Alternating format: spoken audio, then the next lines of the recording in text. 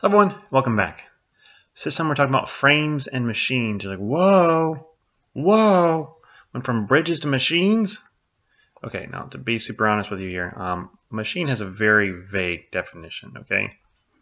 It's not nearly as weird. We're not gonna have a whole bunch of gears in here, like we got the gears here and we got the pistons moving, and it happens that it's going at 50 miles per hour. No, none of that stuff's happening. Do not worry, we can get through this together. So, talk about frames and machines and how we solve these. It's not to be bad. You got the skills. So let's keep moving on. And let me get my fun little pin out because why not? There we are. So first off, frames, we use them to support stuff. Various external loads are being supported. Now, how's a frame different than a truss?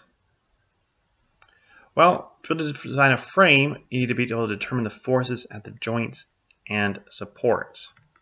Another thing we're going to see is that a frame can have multiple force members. So not just two force, where it goes out the ends, but um, three force members where it has some force that's going perpendicular or at an angle to one of the members. It doesn't happen in truss, it happens in frames. Okay, so machines as those above are used in a variety of applications. Now, how do you think they're different from trusses and frames? Yeah? This is a great point where I would love to be able to talk to you. Um, the big thing about machines is they are increasing the work you're doing, or at least they're increasing the effectiveness.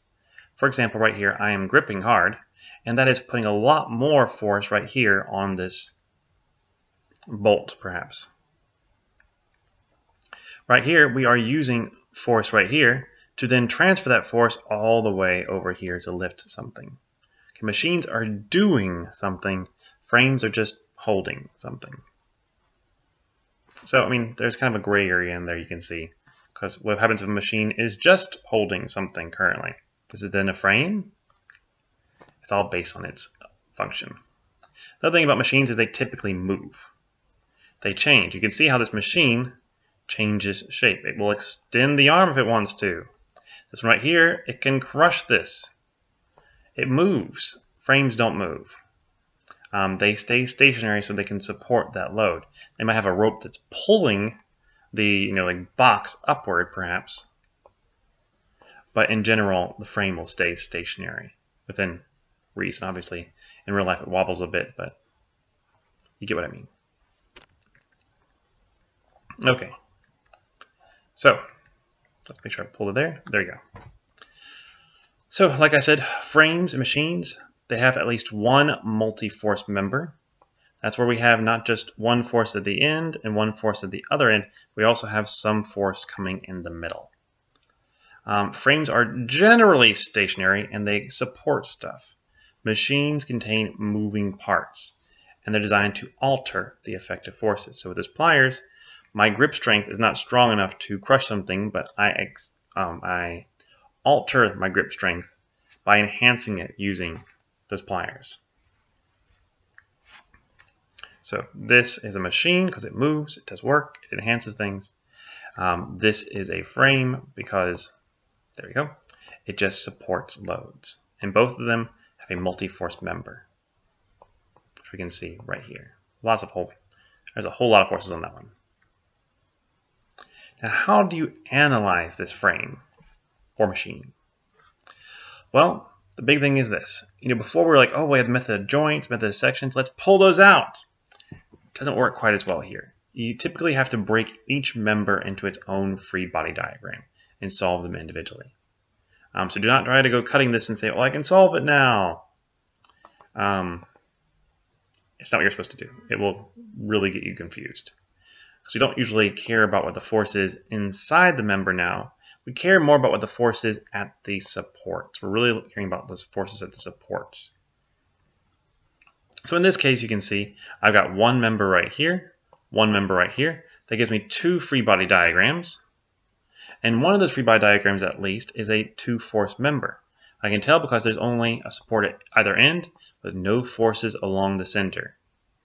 This one right here is a multi-force member, two supports at the end, but I also have this 2000 Newton force. If that 2000 Newton force was moved to one of the supports, we'd be fine. Um, but since it's in the middle, this is a multi-force member. Okay. So here are pretty much everything I just said. Um, and you should have enough. I mean, always remember that you have a free body diagram for everything together. You have a free body diagram for everything separately. You have a whole lot of equations you can do here. Also, since these have size, you get three equations. Sum of the forces and sum of the moments. And there's only two things, but sum of the forces in the x and the y.